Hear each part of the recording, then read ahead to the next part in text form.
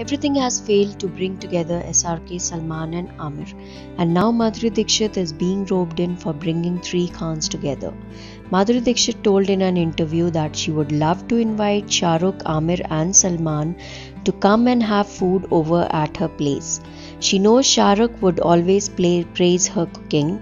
Aamir would give her advice on how the food could be a little better, which would help her improve, and Salman would just say, Where's the food? Give it to me quickly. For more videos, log on to metromasti.com. Till then, goodbye.